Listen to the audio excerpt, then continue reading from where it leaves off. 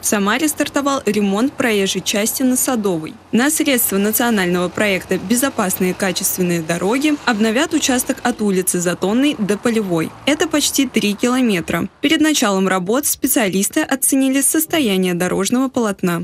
Провалы, разрушение асфальтобетонного покрытия, просадка колодцев. Сейчас ведется подготовка дороги перед укладкой горячего асфальтобетона. Фрезеруют верхний слой старого дорожного покрытия. К его удалению приступили вечером 9 апреля. Закончили утром. За это время сняли более 4000 квадратных метров полотна. После фрезерования выявят участки, где основание потеряло несущую способность. Его укрепят. Перед тем, как выполняет фрезерование, выходит бригада геодезистов, которая выполняет съемку для отвода вод. Как бы МБУ дорожное хозяйство за этим, конечно, следит.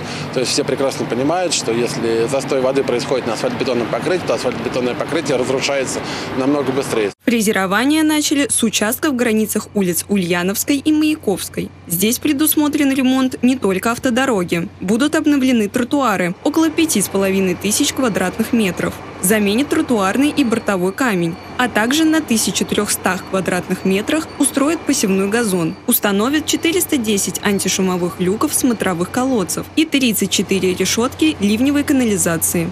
Работы по фрезерованию и укладке асфальтобетонного покрытия будут выполняться в ночное время, чтобы не создавать неудобств автомобилистам. Конечно, хорошо. Правда, я сам не водитель, но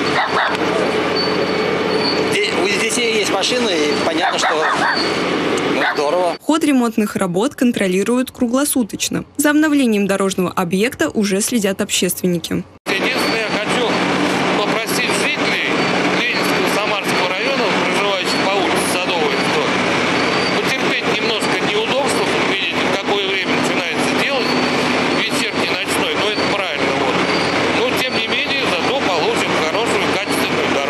Для повышения безопасности дорожного движения на участках, где отсутствуют светофоры, сделают искусственные неровности. Со всеми задачами специалисты планируют справиться в мае.